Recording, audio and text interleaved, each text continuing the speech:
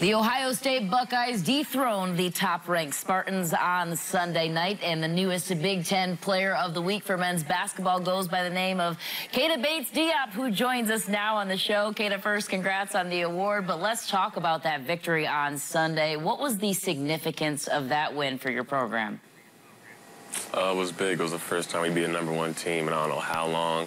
Um, it was the first ranked team we beat this season. It was the craziest game in the shot we've had in a long time. You had 32 points in that game. What felt like it was working for you offensively? Uh, I was making my shots early, and then after that, my teammates just kept finding me, and it was it was a great game, a great team effort. Why was zone so effective against the Spartans? Um, we knew that Nick Ward was kind of like a big part of their offense. We tried to take him out early, and then it kind of took him out of their offense. And let's talk about your progression as a player. Your sophomore campaign, you were averaging just 11 points per game. This season, leading the Big Ten with over 20 points per game. What's been the biggest change for you outside of being fully healthy now into this season? Uh, just an aggressive mindset, I think. I mean, the first couple years I was pretty passive, and then this last year, um, sitting out, it was it was really good to watch it. And then this past year, I've just started being more aggressive. How about your new coach, Chris Holtmann, and the job he's been able to do with this group? Why is he such a good leader from a player standpoint? He was able to come in in June and just really get us all to buy in really fast. I mean, he came in so late. Um, it was right before summer workouts was supposed to start. And then he just, from that moment on, he, he started to build trust in us really early. And as one of the older guys on the team, can you reflect back on a moment or two when you really thought, hmm, this guy's going to breed a winning basketball program here? It was like our first team practice, and we didn't really do a whole lot of offense. He just focused on defense and doing what, you know, he felt was really important. And from that moment on, we knew we were going to be pretty good.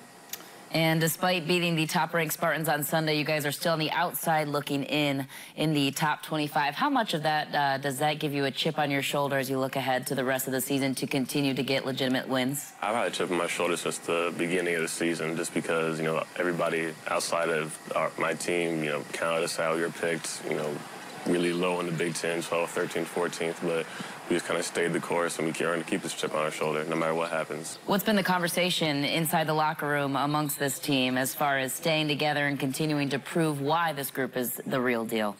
Uh, just doing what we've been doing, preparing how we've been preparing. Um, we prepare for number one Michigan State, how we prepare for every team, and that's what we're going to keep doing the rest of the season. And you have Maryland up next. How do you prepare for the Terps?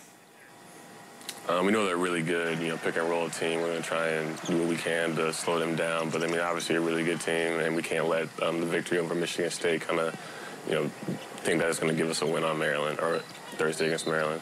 So now that you guys have that win in your pocket, as you mentioned, and you want to stay the course, given the expectations at the beginning of this year, which weren't too high, and now the expectations have maybe heightened a little bit, how does this team hit now the goals that you guys expect to hit at the end of the season? Um, we always had these expectations for us. We knew how good we were, um, how, how, good we could be in our locker room. We just had to prove everybody else wrong, that's what we're going to keep doing. Lastly, hard-hitting question for you. Your roommate, JT, the past four years you said you guys have lived together. What's one funny or fun fact about your fellow roommate that nobody else knows about that you would like to relinquish to us today? Uh, he snores really loud. I will say that. Big snore guy. All right, fair enough. All right, Keita. Well, we appreciate the time. Best of luck to you and your teammates the rest of the way. Thank you. Thank you for having me.